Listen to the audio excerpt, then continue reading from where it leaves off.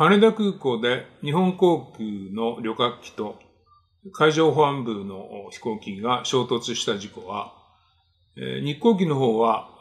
乗客乗員379人が全員生還するという大変素晴らしい結果に終わったわけですけども、えー、海保の方は乗員6人のうち5人が亡くなるという結果に終わりました。で、これについては、あまだ原因は調査中なので、えー、あまりいい加減なことは言えないんですけども、昨日国土交通省がこの事故の直前の更新記録を発表したんですね。で、それによりますと、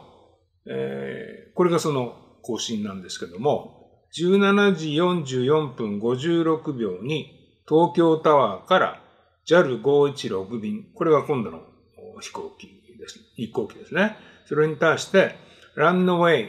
えー、34R、この 34R という滑走路に、えー、着陸する許可が出てるんですね。で、17時45分1秒に JAL516 の方がえー、それを復唱してますね。これはその確認をしたと。でその後、JA722A と。これはこの海保の飛行機ですけども、これが、えー、東京タワーに対して、えー、その呼びかけて、で、東京タワーこれはまあ管制官ですけども、管制官が JA722A に対して、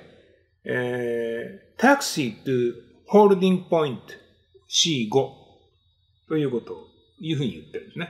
このタクシーという言葉が、あこの航空機の完成の世界の特殊な用語ですけれども、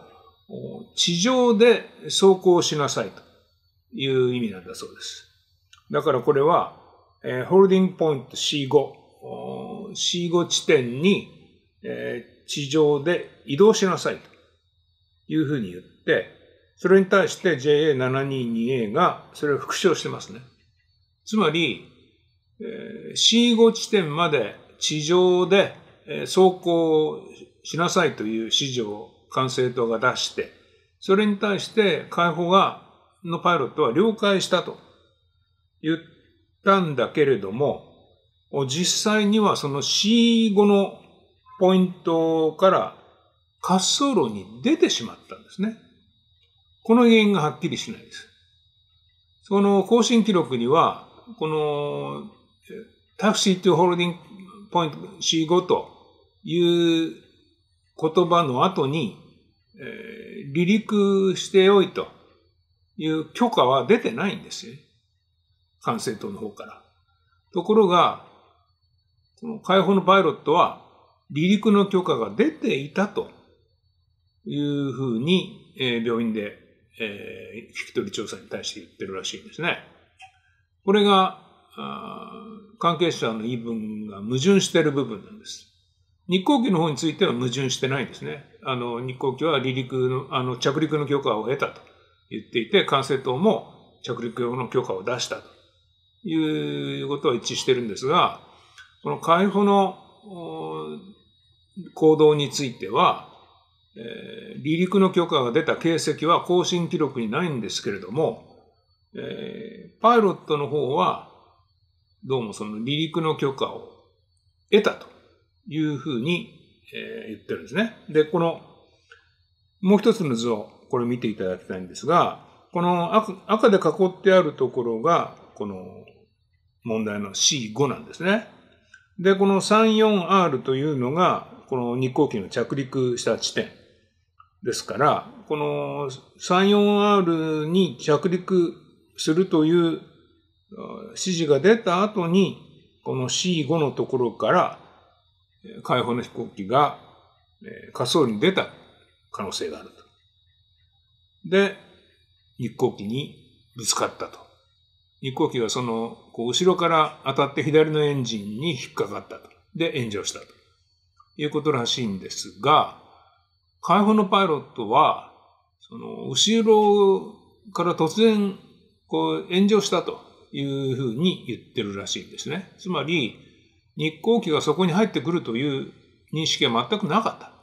それから、日航機の乗員も、その、解放の飛行機は見えなかったというふうに言ってるらしいんですね。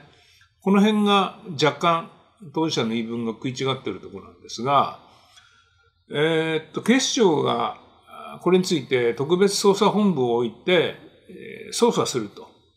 いう捜査に入ったらしいんですけども、こういうふうにこう関係者の言い分が食い違っているときに、その刑事事件として捜査しますと、関係者は自分の身を守るために本当のことを言わない可能性があるわけですね。そうすると、何が間違いのもとだったのかということが正確に把握できない恐れがある。この場合で言うと、おそらく管制塔か、この解放のパイロットかのどちらかに何かの聞き違いか勘違いがあった可能性があると思われるんですけれども、海保のパイロットは離陸の許可を得たというふうに、今のところ言ってるわけですね。この矛盾をちゃんと解決するためには、その刑事罰よりも前に、まず真相の究明をした方がいいと思うんですね。で、まあこれ、あの、刑事事件としては、その、面積をするというのはなかなか難しいと思うんですけども、何かそういう手当てをしないと、この本当の原因がわからないと可能性もあるんじゃないでしょうか。